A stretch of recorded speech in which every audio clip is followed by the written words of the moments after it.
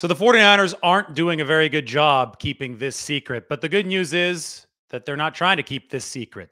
They are very, very interested in adding tight ends in this upcoming draft. We can go back to the NFL Combine where both John Lynch and Adam Peters talked about how deep of a tight end class this is. They believe that it will be right for the picking for the 49ers who don't pick until number 99.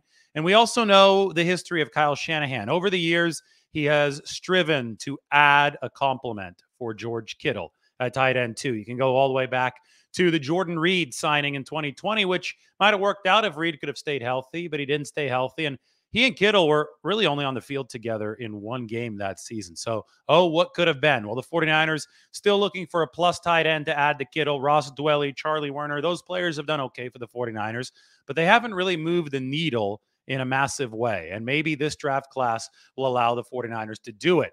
Speaking of not being able to keep secrets, the latest visit that we have for the 49ers on the 30 for 30 visits is Central Michigan tight end Joel Wilson. And we have some game tape on Joel Wilson. So why don't we roll it? Why don't we see why the 49ers like this guy who analysts expect to be available in the late rounds of the draft, maybe even as an undrafted free agent?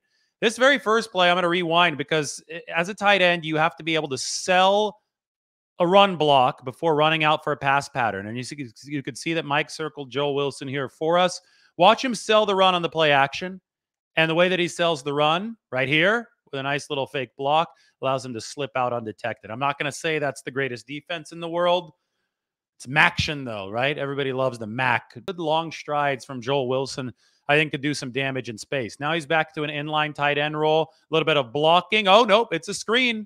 The little deke, and then you see the yards after the catch. Again, the speed on display. He's obviously a plus athlete for the MAC level, different for the NFL level. George Kittle's a star. Look at that high pointing of the ball. Good route here, too, from Joel Wilson. I'm going to roll, roll that tape one more time after we're done with all of it because this last touchdown, well, that's the easiest catch that Joel Wilson will ever have. But as far as, you know, looking for somebody to deliver in the pass game, take a look at this one. It's going to be a good route coming straight off the inline position. Oh, actually, this is this is the screen. We're gonna go first. We're gonna go to the screen where you can see the yards after the catch. The very next score, which is also moving left to right, that's out of a slot position fakes the corner, cuts back into the post, and then you know the throw is a little bit late for whatever reason.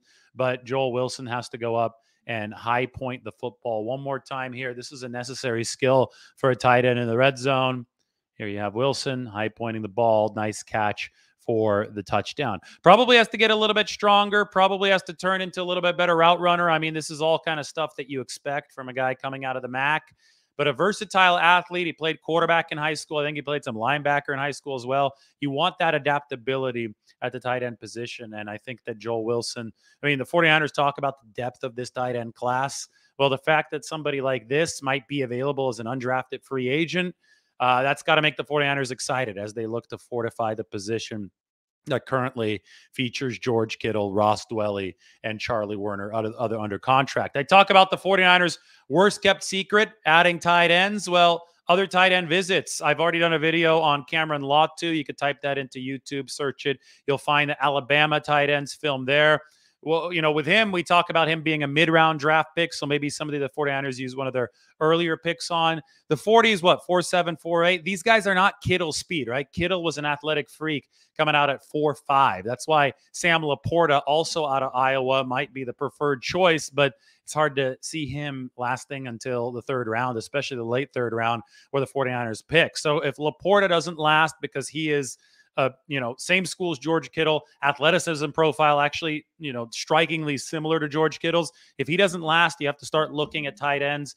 who are going to be probably more on the technician side of things, right? They're not going to be running blazing fast four five forties. Those guys don't grow on trees. And if you start looking at the technicians, where Cameron Law two out of Alabama, the four seven four eight forty, the good technical route running skills. That you know, he's also already a good blocker. I think he could develop further in that regard. But I think he's a player that can fit into that middle round profile that the 49ers are looking for. And Brayden Willis out of Oklahoma. That's recent news. We'll get some tape on him. We'll have a show on him in a bit. He is also a late round draft pick projection, kind of like Joel Wilson, either late round, early undrafted free agent. Bigger school, though, for Brayden Willis. Oklahoma obviously plays a higher level of competition than Central Michigan. So that might make him one of the 49ers 11 draft picks if they want to pick him up. But between Latu, Brayden Willis, and obviously Joe Wilson, those are all 30 visits for the 49ers.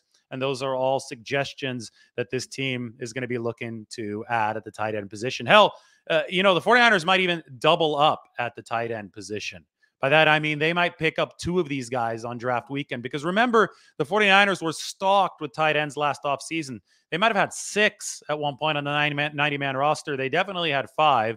And right now, they have only three. So there still seems that there's room for two more tight ends on this 90 man for the 49ers. And they have what, 23 more roster spots before the 90 man is filled. So given, you know, let's just connect the tea leaves. They've been talking about a deep tight end class. They haven't been shy about it. They're hosting all these tight end visits.